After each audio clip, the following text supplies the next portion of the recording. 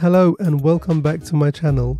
My name is Gizmo and today I'm looking at a KVM switch from a company called TESmart. This is their dual monitor KVM switch. A KVM switch is a device that lets you control two different computers using one set of keyboard, mouse and monitor. Any queries or questions, leave them in the comments and I will do my best to come back to you. So let's jump straight in. So we're going to start by unboxing the package. Let's see what you get inside.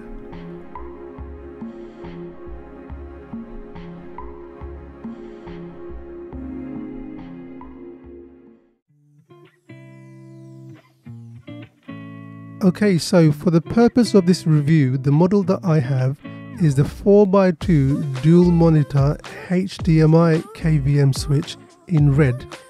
The 4x2 refers to the fact that it takes in four HDMI inputs and it gives out two HDMI outputs.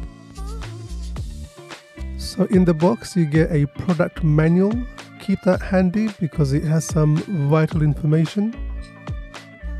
And of course the actual KVM switch itself.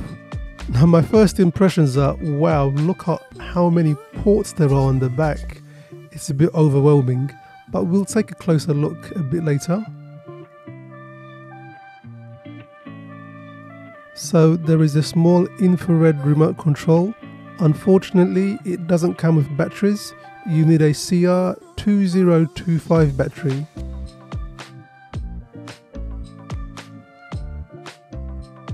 And there are lots and lots of cables. Now you might look at all these cables and at this stage feel a bit overwhelmed or think to yourself, is this device going to be really difficult to set up? Actually, it's not. Bear with me. This is possibly one of the simplest devices that I've had to set up.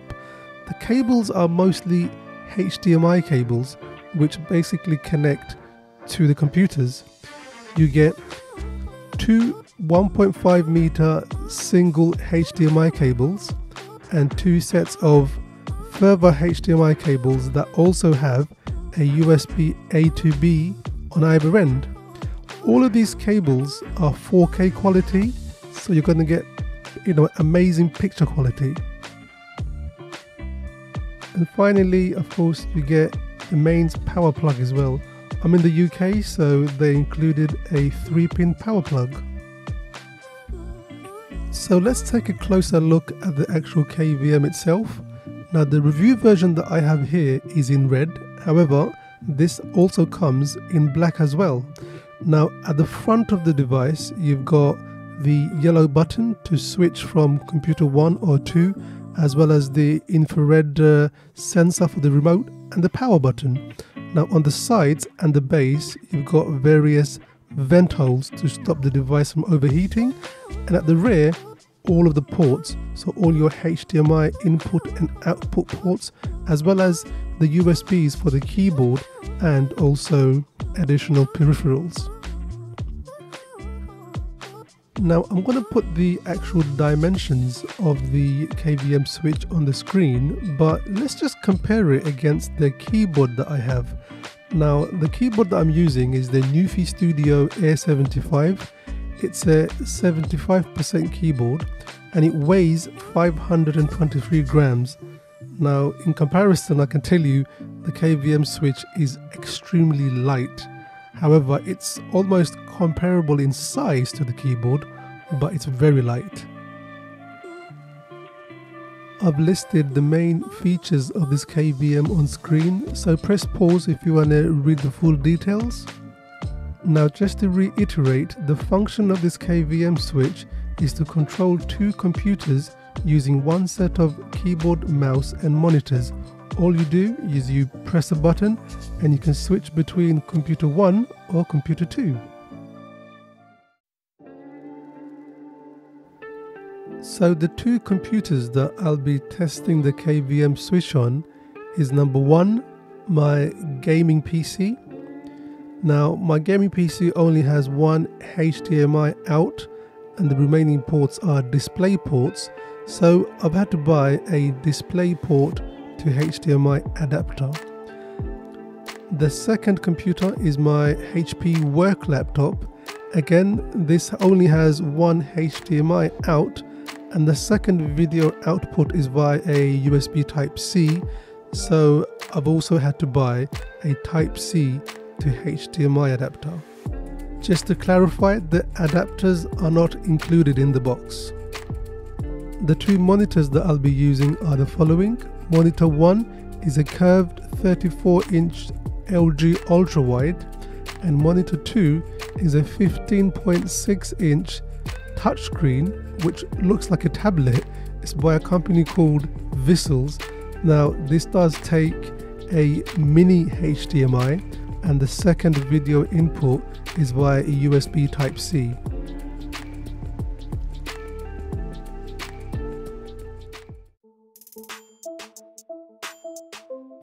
Okay, so now I'm going to do a dry run showing how to connect all of the cables. Now this is a really easy process. At the back of the actual uh, KVM switch, everything is clearly labeled. In a nutshell, the connection is basically two HDMI cables from each computer into the KVM switch along with one USB cable. So for the purpose of this demo, the laptop is PC number one. All I'm doing now is I'm plugging in one HDMI cable and the USB type B into the KVM switch and the other ends of the cable. So the USB type A and the other end of the HDMI cable are being plugged into the laptop. Now, as I mentioned previously, my laptop does not have a second HDMI video output. However, it does have a USB Type-C video output. So I've had to buy another cable which is HDMI on one end and USB Type-C on the other. The HDMI side goes into the switch and the Type-C goes into the laptop.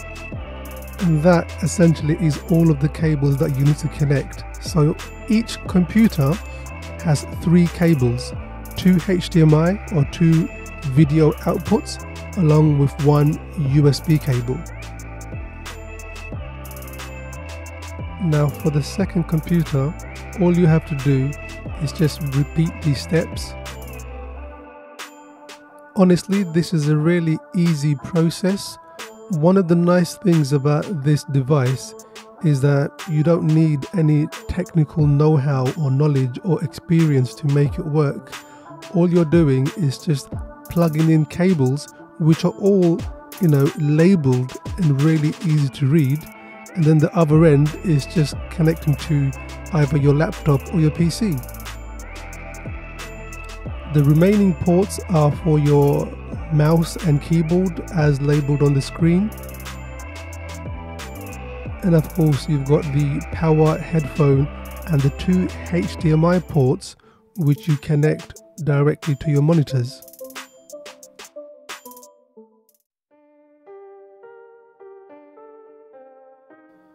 Okay, so now I've got all of the actual cables connected I've got the KVM switch where I'm going to actually be keeping it.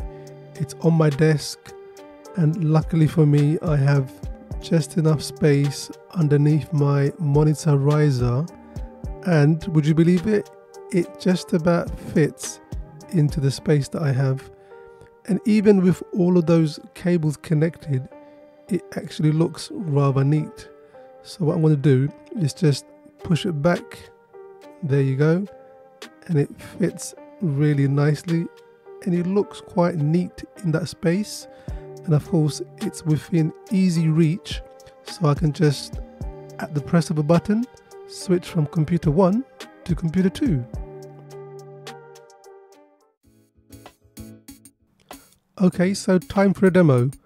Both my computers are turned on, they're connected to the KVM, the KVM is turned on and if we press the yellow button I've now switched from what was on the screen initially, which was my laptop, to my gaming PC. And as you saw, that was really easy, quick and seamless. And I'm just demonstrating the fact that the mouse is working on both and if we switch back again I'm back into my laptop and again everything works straight away.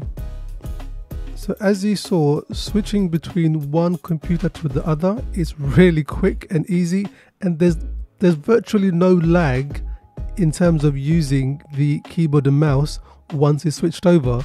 So if I switch back to the laptop now, there you go. See, look, I can use the mouse straight away. I can use the keyboard straight away. I can also use the multimedia function on the keyboard. So I'm changing the volume. If I switch back to the gaming PC, again, it's working straight away, the keyboard and mouse, as well as the multimedia function. So this is a close-up shot of the KVM switch's front panel. Obviously the lights indicate the computer's being online and also which one is currently active. Now this device it's really painless and easy to use. There's no complicated software to install, anything to configure. It literally is plugging in all the cables, turning it on and just pressing a button to switch from one PC to the other. Now in addition to using the physical yellow button at the front of the KVM switch to switch from one PC to another, you can also use the keyboard using special shortcuts to actually switch from one PC to the other. Now by default, the key combinations consist of pressing the scroll lock button twice. However, if like me you have a keyboard that unfortunately doesn't include the scroll lock key, you can still use this function by programming the actual KVM switch to use the right control button instead. If you have a look on page 6 and 7 of the product manual, it tells you actually how to do this. Now I have to say I'm really impressed with the way this KVM switch works. Everything's really easy, it's smooth and it just works. The switching itself is, is really fast. If you need to control two computers, this will definitely improve your productivity. Now a couple of things to consider. This only supports 60 Hz, so if you're a gamer, this may not be for you it's quite a big device so make sure you've got enough space close by. And finally make sure you've got at least two video outputs. Now having said all that if you need a kvm here's my top five reasons why you should buy this.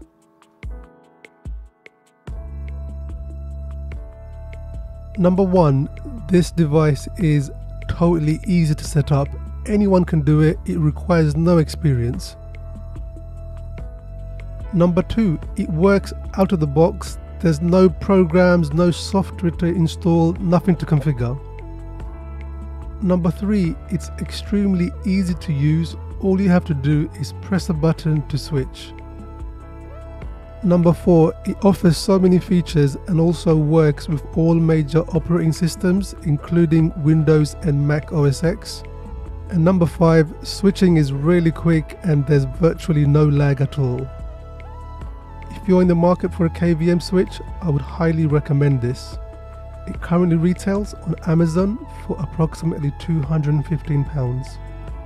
Well folks, thank you for watching. We've come to the end. I will be linking the product in the video description, so do check it out. Until next time, take care and I'll see you soon.